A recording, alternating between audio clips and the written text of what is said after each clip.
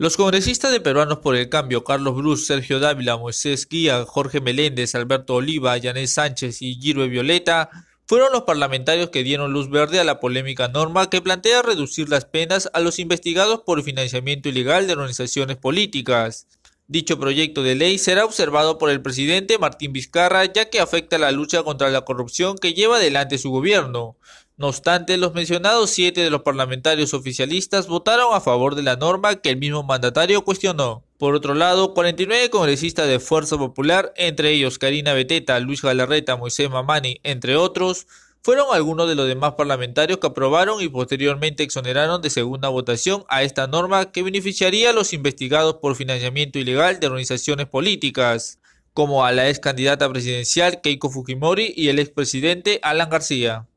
Asimismo, Edwin Donaire, congresista de Alianza para el Progreso, al igual que los parlamentarios del Partido Aprista Mauricio Mulder, Elías Rodríguez, Javier Velázquez y Jorge del Castillo, dieron el visto bueno a la nueva norma aprobada en el Pleno del Congreso el pasado miércoles.